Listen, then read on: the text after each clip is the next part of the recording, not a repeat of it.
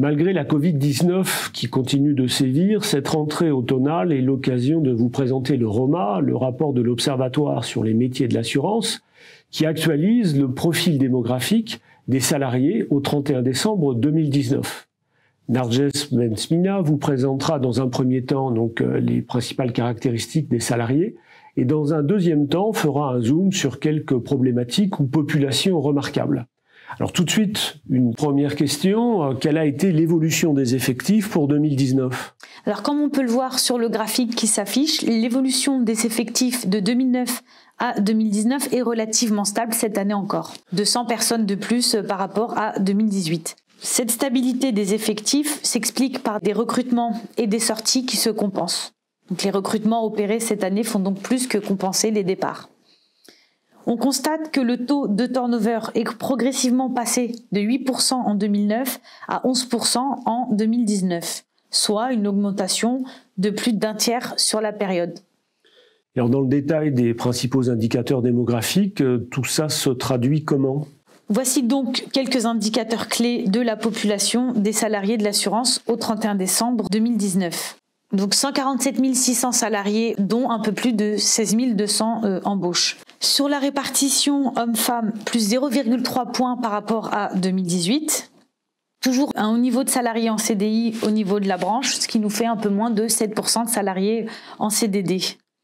18,2% des salariés ont 55 ans et plus et 14% moins de 30 ans. Un peu moins de 5600 salariés sont en alternance, dont 3800 euh, salariés euh, embauchés en alternance. 4,5% de salariés en situation de handicap déclaré. Les trois quarts de la population, donc toute génération confondue, disposent d'un niveau au moins égal au bac plus 2. Et enfin, près d'un salarié sur deux est cadre. D'accord. Et alors en matière de, de métier maintenant, euh, qu'est-ce que l'on constate? La répartition des effectifs par métier a peu changé depuis la mise en place euh, de l'actuelle nomenclature. Concernant les deux principales familles en volume, on relève plus 0,3 points pour la famille commerciale et euh, moins 0,2 points pour la gestion des contrats. Donc au final, ces deux familles continuent de représenter 60% de la branche. Cette stabilité se retrouve sur les huit dernières années donc s'affiche en orange les familles de métiers qui connaissent une évolution à la baisse entre 2011 et 2019 et en vert celles qui augmentent. Donc la plus forte variation concerne la famille support administratif avec moins 1,9 points. La famille distribution et développement commercial baisse de 1,7 points euh, sur la même période, donc partiellement compensée par euh, la hausse de la famille gestion des contrats avec plus 1 point. Oui, donc on constate que malgré ou grâce à la digitalisation des entreprises d'assurance, on a quand même un maintien, voire une hausse légère des métiers de la gestion de contrat. Euh, on passe maintenant à un autre sujet, la formation professionnelle continue. Nous savons que l'assurance traditionnellement recourt euh, beaucoup à la formation professionnelle continue. Quels sont les principaux indicateurs sur ce sujet pour 2019 toujours? Le taux d'accès à la formation gagne 7,5 points ce sont désormais près de 9 salariés sur 10 qui sont allés euh, au moins une fois en formation dans l'année. Sur une période de 5 ans, le taux d'accès connaît euh, une hausse notable.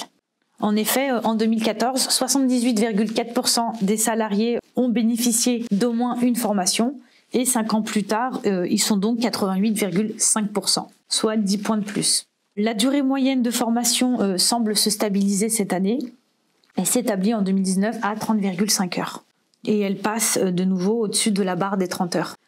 Un zoom sur les dispositifs de formation non présentielle.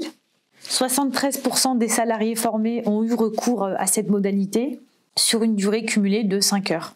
Et euh, la FOAD représente 12% des heures dispensées. Oui, on peut même imaginer qu'après la période de, confinement que nous avons connue au printemps dernier, ce pourcentage dans les données 2020 continue d'augmenter encore.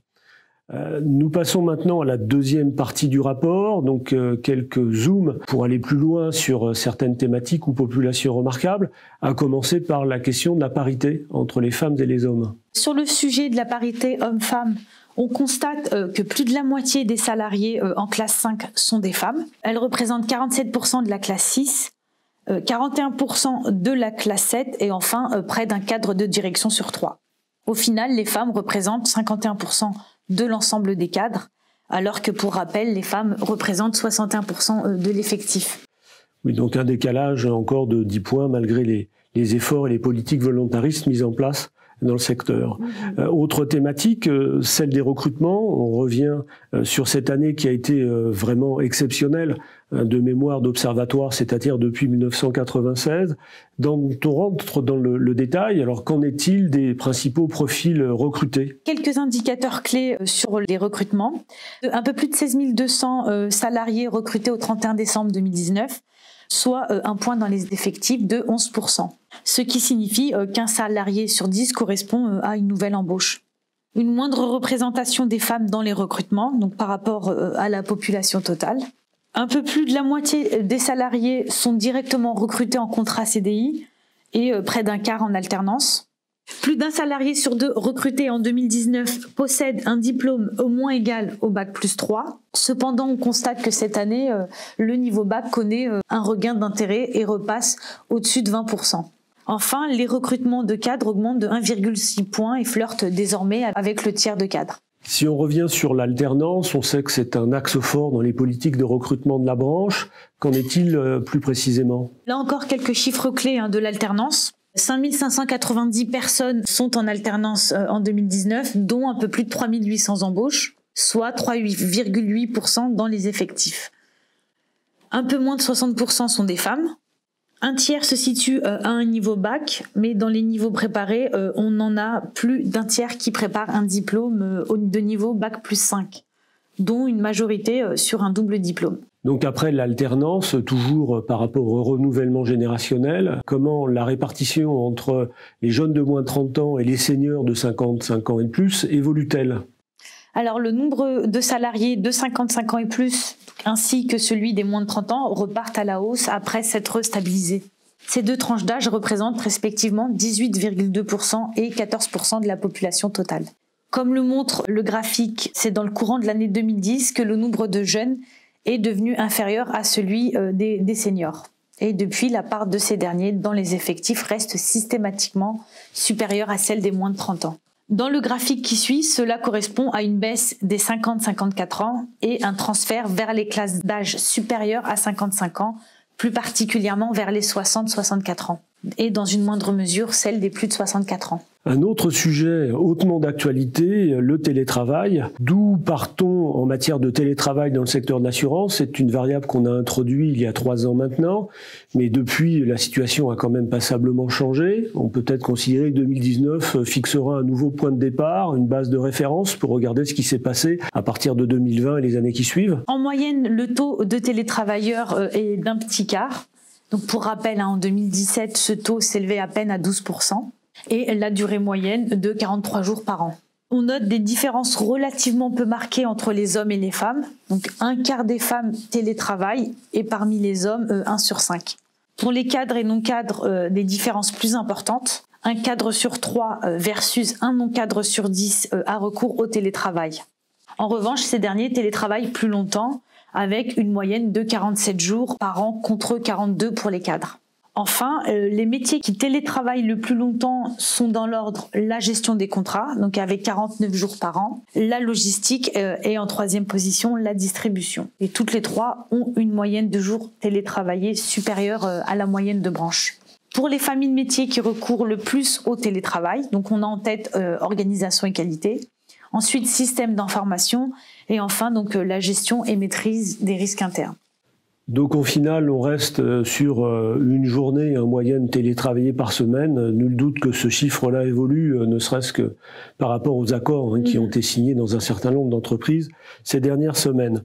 Dernier chapitre maintenant sur les mobilités fonctionnelles. On entend parfois les mauvaises langues dire que ça bouge pas beaucoup dans l'assurance.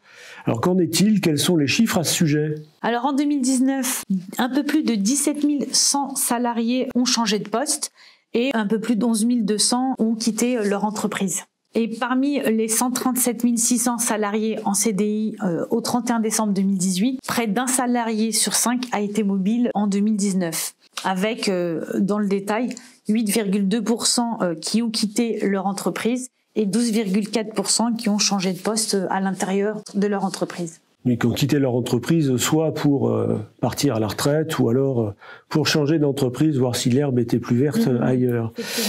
Ok, bien merci, merci Narges pour ces, ces commentaires. Je rappelle cependant euh, qu'il s'agit d'une vue générale. Je vous invite tous à aller consulter le Roma pour aller plus loin et mieux comprendre mhm. un peu ce qui se joue, ce qui se passe dans les entreprises de la branche professionnelle.